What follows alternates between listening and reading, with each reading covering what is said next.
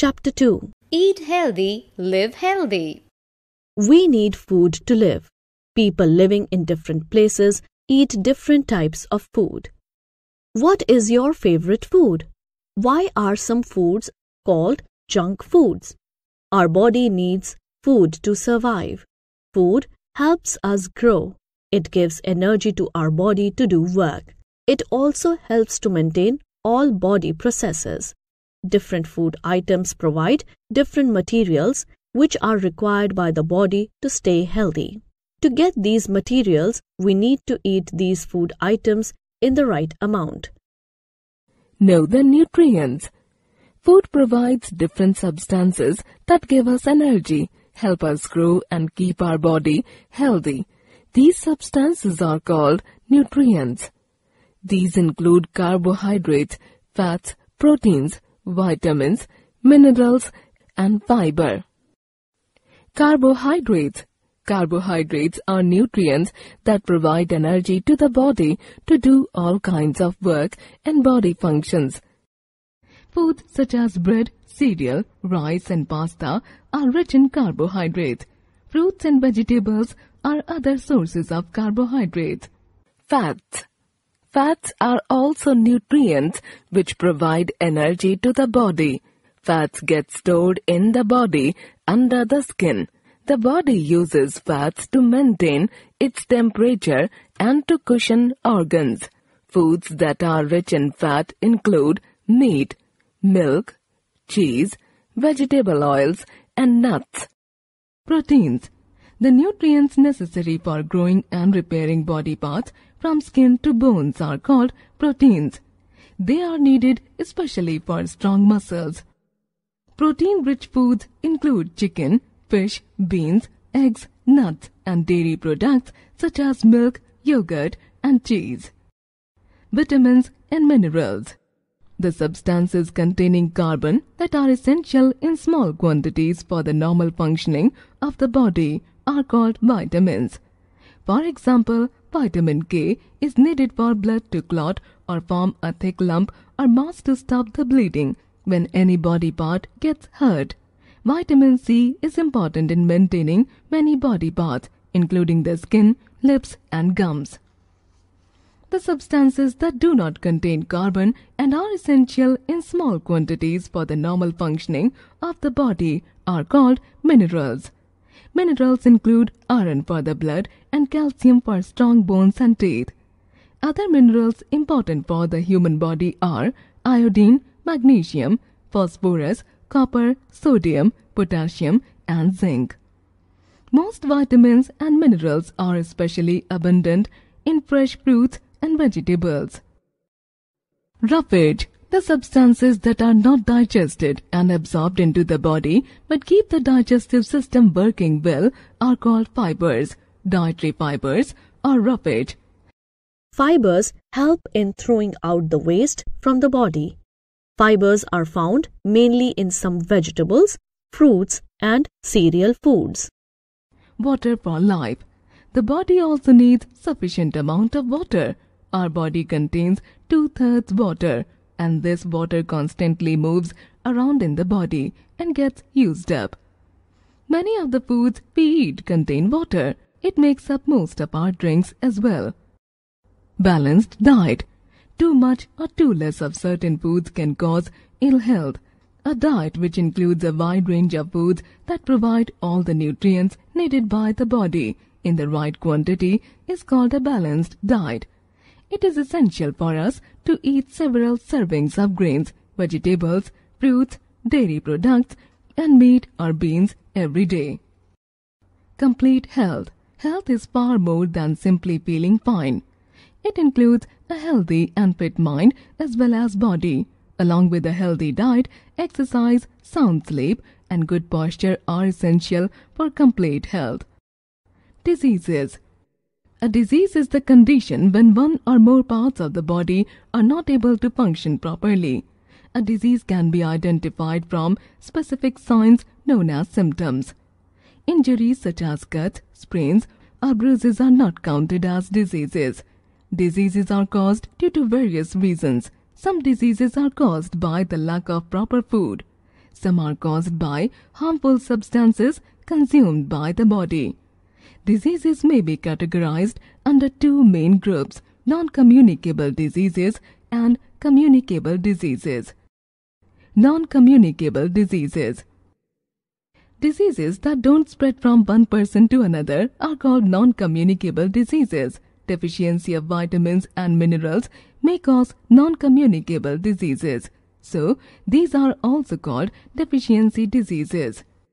Intake of too much fatty food and lack of exercise cause obesity. Dangerous non-communicable diseases such as cancer are caused by bad habits such as smoking. Deficiency diseases. Deficiency diseases caused by the lack of sources of vitamins or minerals. Night blindness and scaly skin. Vitamin A. Leafy green and yellow vegetables, liver, egg yolk.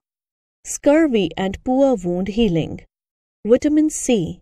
Citrus fruits such as strawberry, tomato, broccoli, cabbage, green pepper. Gastrointestinal problems. Vitamin E. Dark green vegetables, nuts, legumes, whole grains. Beriberi. Vitamin B1 green vegetables, cereals, milk. Rickets, vitamin D, milk and milk products. Goiter, iodine, iodized salt. Weakness, bone damage. Phosphorus, dairy products, red meat, poultry, grains. Muscle weakness, potassium, meats, fruits, vegetables, whole grains anemia, iron, spinach, dates, apples, bananas, guavas, pulses, jaggery, meat. Communicable diseases. Diseases that can spread from one person to another are called communicable diseases. These diseases can spread through air, water, and physical contact with others. Malaria, common cold, and pneumonia are some examples. Staying clean and maintaining a good hygiene helps in preventing such diseases. The practices and conditions that help to maintain good health and prevent the spread of disease are called hygiene. Brushing teeth twice a day, bathing, wearing clean clothes and eating fresh food in clean plates come under hygiene. Communicable diseases are spread by microbes or germs such as bacteria, protozoa and virus. These germs enter the body of a person through the mouth or nose. They may also enter the body through contaminated food and water. They may get into the body through cuts and bruises in the skin as well. Insects or pests such as cockroaches and flies carry germs from sewers and contaminate our food and water. This leads to diseases such as diarrhea, typhoid, and cholera. Eating with unwashed and dirty hands or eating in a dirty plate also allows germs to enter into our body. Milk from diseased cows can be a source of infection too. Some diseases are spread by protozoa carried by mosquitoes. Protozoan, which causes malaria, is carried by the female Anopheles mosquito. The mosquito gets the protozoa from an infected person and then transfer them to healthy people by biting. Sometimes a healthy person carries germs of diseases such as dysentery, cholera and typhoid. People who come in contact with the carrier are in danger of catching the disease. AIDS is an incurable communicable disease. It is spread by a virus called HIV. Many communicable diseases can be prevented from spreading through vaccination. Diseases such as measles and chickenpox are highly under control today because of vaccination. Most vaccinations are given to children when they are very young to build immunity. Immunity is the body's self-resistance against diseases. Lists some communicable diseases, their symptoms, and the preventive measures. Diseases, symptoms, treatment or preventive measures. Jaundice, loss of appetite, yellow coloration due to excess bile pigment in the blood, yellow urination, fever. Hepatitis B vaccine, purified water, avoid contact with infected people. The patient should be given plenty of sugarcane juice. Chickenpox, fever, fatigue, skin rash. Avoid contact with patients, maintain personal and environmental hygiene, maintain good ventilation. Tuberculosis, persistent fever, cough, sputum with blood, fatigue, weight loss, night sweat. Balanced nutrition and adequate rest, good ventilation and environmental hygiene. The patient should not spit here and there.